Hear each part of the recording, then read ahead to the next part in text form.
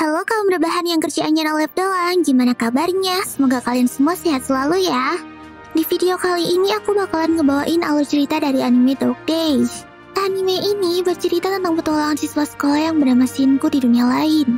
Shinku adalah seorang siswa yang ceria dan sangat jenius dalam olahraga. Suatu hari dia disaman ke dunia bernama Flonyard oleh seorang ratu yang bernama Milhior. Ia meminta Shinku untuk menjadi pahlawan yang membantu negaranya untuk memenangi perang. Lalu, bagaimana serunya petualangan Shinku di dunia Yard itu? Oke deh, nggak usah lama-lama lagi.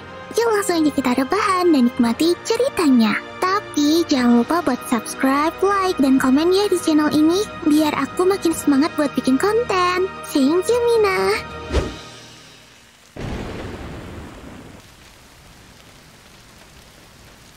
Godwin, 進軍は順調かはレオン・ミシェリ閣下全体が目標の砦に到着しましょう閣下の仰せ通り明日もまたビスコッティの犬姫に敗戦の屈辱をくれてやるとしよう Cerita diawali dengan ditunjukkannya para petinggi Republik Biscotti di dunia Flonyard yang sedang bersiap untuk berperang melawan pasukan Galet. Dengan kekuatan mereka saat ini, kemungkinan besar pasukan Galet akan mengalahkan mereka. Dan apabila itu terjadi, maka kastil mereka akan jatuh ke tangan musuh. Melihat hal tersebut, Tuan Putri mereka yang bernama Milhior memutuskan untuk menggunakan cara terakhir yaitu memanggil pahlawan ke negeri mereka. Milhiore Filian no Biscotti no nani oite, waga kuni ni, yusha o shoukan shimasu. Kemudian ditunjukkan seorang anak yang bernama Shinku Izumi yang sedang bersiap-siap berangkat ke sekolah. Shinku adalah seorang blasteran Jepang Inggris yang sangat jago berolahraga. Sampai-sampai dia sering mengikuti dan memenangkan turnamen nasional yang mirip Ninja Warriors. Sepulang sekolah, dia melewati jalan pintas karena buru-buru pulang untuk mengejar pesawat. Namun, ada seekor anjing aneh membawa pisau yang sedang mengamati Shinku. Saat Shinku sedang melompat turun, tiba-tiba anjing itu melepaskan portal sihir tepat di tempat Shinku mendarat.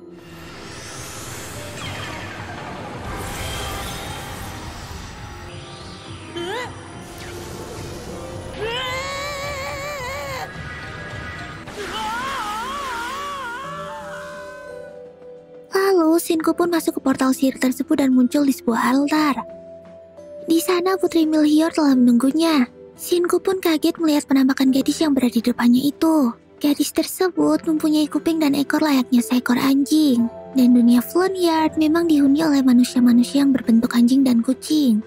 Kemudian Milhior pun mulai menjelaskan segala sesuatunya kepada Shinku. Dia meminta Shinku untuk membantu Republik Biscotti berperang melawan negara tetangga Galet. Galet memiliki komandan yang sangat kuat, dan tak ada seorang pun di Biscotti yang mampu melawannya. Oleh karena itu, mereka harus memanggil pahlawan dari dunia lain. Mendengar hal tersebut, Shinku pun menyanggupi permintaan Milhior dan langsung terjun ke medan pertempuran.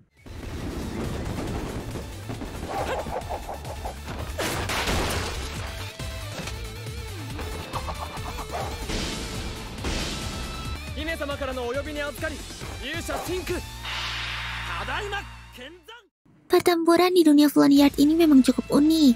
Cara mengalahkan musuh adalah dengan memukulnya dengan keras atau menyentuh kepala dan punggungnya. Setiap mengalahkan musuh, mereka akan mendapatkan poin, dan yang memiliki poin tertinggi akan memenangkan perang. Dan ketangkasannya, Shinku berhasil mengalahkan pasukan musuh dengan sangat cepat. Dan hal ini membuat orang-orang yang melihatnya jadi sangat terkesan. Lalu Komandan Galet Leon Michelli yang melihat kedatangan pahlawan di pihak musuhnya itu langsung memutuskan untuk memasuki medan pertempuran. Di tempat lain, Shinku yang bertemu dengan Kapten Biscotti yang bernama Eclair memintanya untuk mengajarinya melakukan Meriam Seal, yaitu kekuatan mantra yang menggunakan energi kehidupan. Lalu Eclair pun langsung menunjukkan Shinku cara melakukan Meriam Seal.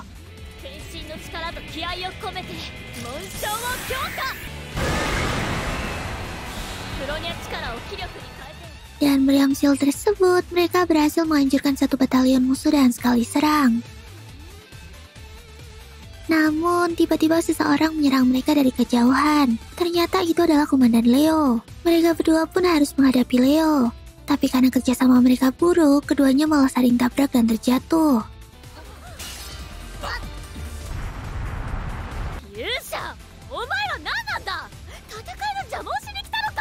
Kemudian, Leo tampaknya sudah berhenti untuk bermain-main. Dia pun menggunakan ulti mantra dan membuat ledakan yang sangat besar di sekitar arena.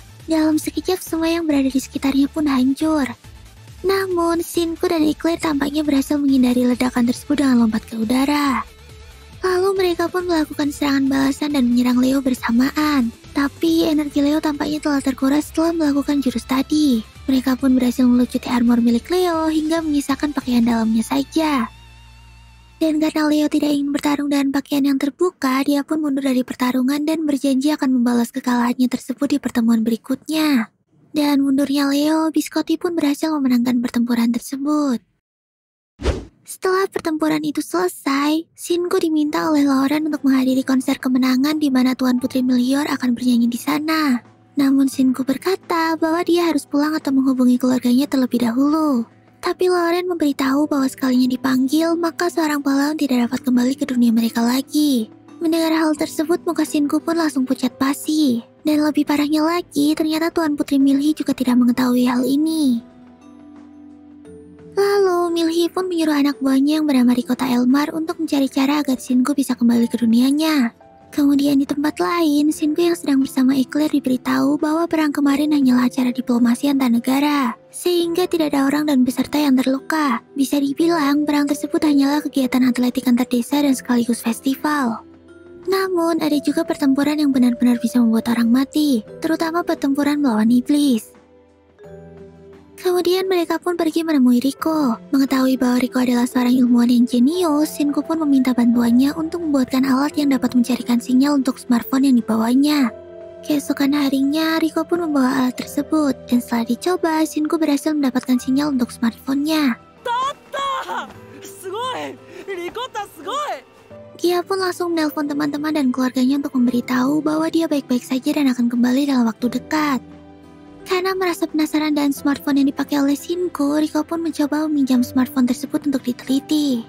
Namun, Shinko menolak habis-habisan karena takut garansi smartphone-nya akan hangus.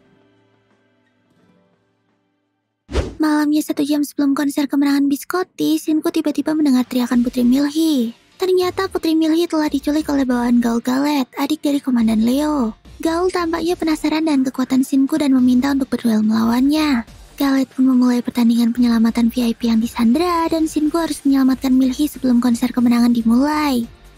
Shingu pun menerima tantangan itu dengan senang hati. Walaupun diculik dan dijadikan sandra, namun Milhi diperlakukan sangat baik oleh Gaul. Karena sebenarnya Milhi adalah teman masa kecil dari Leo. Namun sayang sekali, mereka sudah lama tidak bertemu. Lalu Milhi pun bermain-main dengan macan peliharaan Gaul sembari menunggu diselamatkan.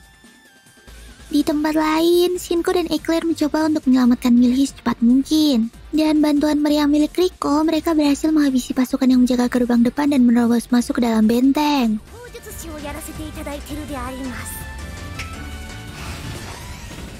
Namun, aksi mereka terhenti oleh Jenderal Perang Galet yang bernama Godwin. Tapi di saat genting, mereka juga mendapat bantuan secara tiba-tiba dari Brios Tiarkia, pasukan rahasia Biscotti yang baru saja pulang dari misinya. Brios adalah salah satu kesatria paling kuat di Biscotti. Bahkan dengan sekali tebas, dia dapat memotong benteng yang sangat besar.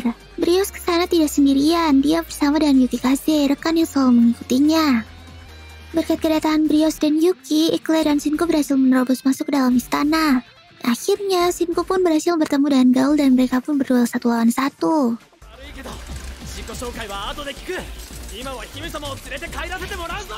Gaul pun langsung menggunakan mantra segel dan energi kehidupan untuk melawan Shinku. Dan jurus cakar gandanya, dia mulai menghajar Shinku.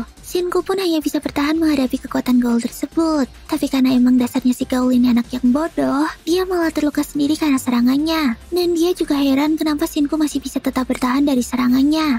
Kemudian Shinko yang tadi melihat cara Gaul menggunakan energi kehidupannya mencoba untuk melakukannya juga. Dia pun berhasil merubah tongkat patahnya menjadi pisau. Dan Shinko pun langsung bersiap untuk menyerang Gaul mengingat waktu konser yang sudah semakin dekat. Aku tidak akan bisa ke konser tepat waktu jika aku tidak cepat-cepat menyelamatkannya. Semua orang menunggu penampilan Tuan Putri. Kata Shinko. Konser? Tanya Gaul kebingungan. Shinko pun tidak menggubris Gaul dan langsung menyerangnya. Gaul pun kebingungan konser apa yang Shinko maksud. Di luar benteng, Brios yang sedang menghadapi Godwin tiba-tiba dikejutkan dengan kedatangan Leo ke benteng Gaul tersebut. Leo menyuruh Brios minggir karena dia harus berbicara dan gaul. Namun Brios menolak untuk memberikan jalan secara damai. Sehingga Leo pun harus menggunakan kekerasan dan bertarung melawan Brios.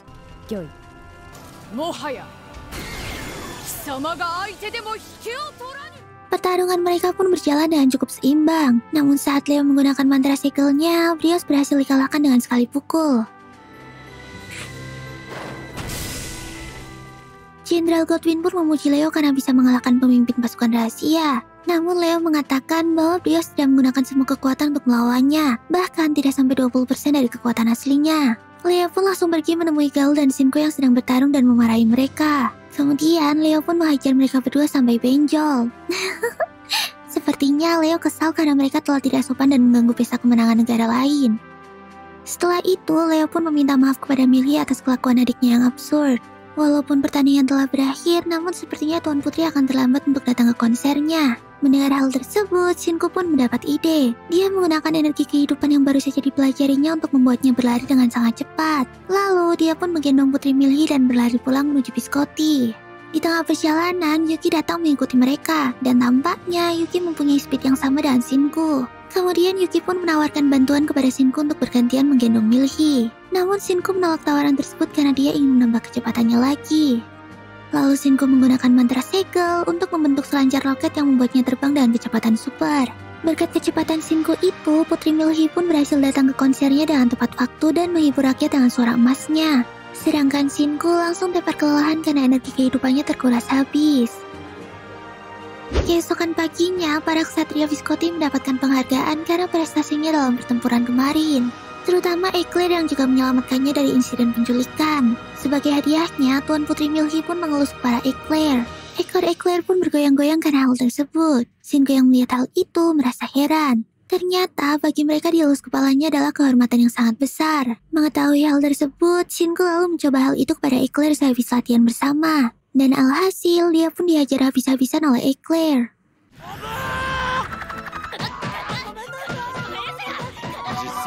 実際仲も良さそうだしな Selesai latihan, Shinko pun mengunjungi kediaman Brios dan Yuki. Mereka lalu berbincang-bincang sambil makan siang. Yuki tiba-tiba bertanya apakah Shinko mau kembali ke dunianya. Karena ada kabar burung di daratan jauh bahwa seorang pahlawan bisa kembali jika mereka sudah memenuhi tugasnya. Setelah mendengar kabar baik tersebut, Shinko pun jadi semakin lega dan bersemangat. Kemudian di tempat lain, Milky yang sedang bekerja di ruangannya tampak gelisah. Sepertinya dia ingin bertemu dengan Shinku. Melihat gelagat Tuan Putri, asistennya pun berinisiatif untuk mengosongkan jadwal Tuan Putri agar bisa makan malam bersama Shinku. Mendengar hal tersebut, Milky pun mengibas-ngibaskan ekornya tanda bahagia. Akhirnya malam yang dinanti Tuan Putri pun tiba. Dia tampak senang dan penampilan Shinku yang rapi dan tampan. Lalu mereka pun minum teh sambil berbincang-bincang. Shinku pun bertanya kepada Milhi kenapa dirinya memilih Shinku sebagai pahlawannya. Milhi menjawab bahwa dia melihat penampilan Shinku saat mengikuti Ninja Warriors. Milhi sangat kagum dengan pergerakan dan ketangkasannya walaupun tubuhnya kecil. Shinku juga terlihat sangat bekerja keras dan tulus. Hal itu membuatnya yakin untuk memilihnya sebagai pahlawan. Mendengar hal tersebut, Shinku pun malu karena di turnamen itu Shinku hanya dapat juara dua. Dia kalah oleh guru dan saingannya. Bahkan Shinku pun menangis karena kekalahan tersebut. Namun Milhi mengatakan bahwa air matanya sangat indah karena diteteskan oleh orang yang telah berusaha sekuat tenaga. Shinku pun berterima kasih kepada Milhi karena telah memilihnya. Lalu kita dibawa ke istana Galet di mana Leo berada. Sepertinya dia sedang marah dengan situasi yang dihadapinya. Tampaknya Leo sedang mencoba untuk mengubah ramalan namun usahanya tersebut gagal. Ternyata Leo dapat melihat masa depan dengan sangat jelas. Di penglihatannya tersebut terlihat bahwa Shinku dan Milhi akan tewas dalam waktu 30 hari. Dan tertulis bahwa ramalan tersebut tidak dapat dirubah. 見る日だけでなく勇者まで死ぬ Wah, gimana nih? Apakah ramalan tersebut akan terbukti? Siapakah yang ingin membunuh mereka? Lalu apakah yang akan dilakukan Leo? Penasaran kan? Oke deh, segini dulu ya videoku kali ini. Dan pesan moral di video kali ini adalah... Jangan sembarangan mengelus kepala gadis yang ada di depanmu. Apalagi bagian-bagian tubuh lain. Karena bisa-bisa kalian bakalan dihajar sampai mampus olehnya. Jangan lupa buat subscribe, like, dan komen di bawah ya. Terus nyalain notifikasinya. Biar kalian gak ketinggalan video terbaru dari aku. Ya, mata nih. Sampai jumpa di video selanjutnya. Bye-bye.